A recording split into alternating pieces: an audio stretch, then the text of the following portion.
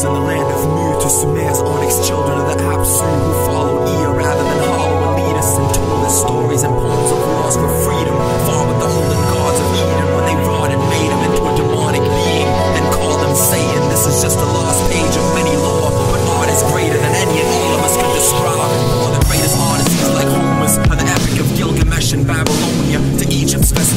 Poets talking of love as we watch it flowing in the hourglass of the sands of time, replenishing an endless desert with powers vast, roaming its magic quadrants with poetic roses, a hand carved from quartz and sandstorms, forgotten from all the stories stored inside of each parcel, and born from the pride of these voices, from the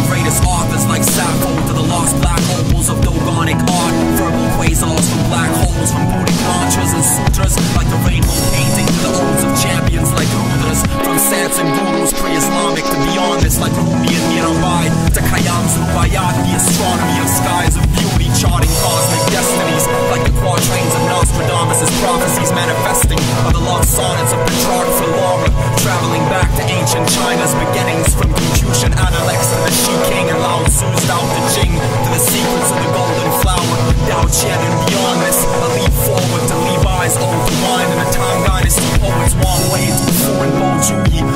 masters are sought after and quoted a lot, while sober poets are often forgotten, like back in the days in Japan's classical age, Kokinshu and Manyoshu, to all the lost oral traditions since the dawn of existence, from Tibetan and Mongolian shamans and mystic poets, like the indigenous hosts of spirits and Nahuas, the Brahmins, sadhus and nagas, nobody knows of other than those walking the streets with their odes wafting their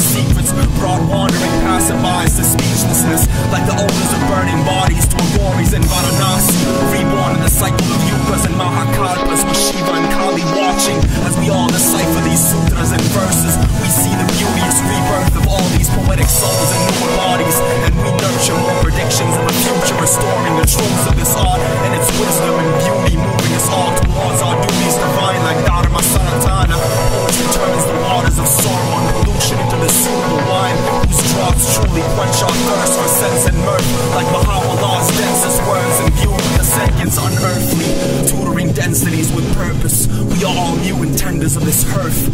The goddess birthed us all in endless verses.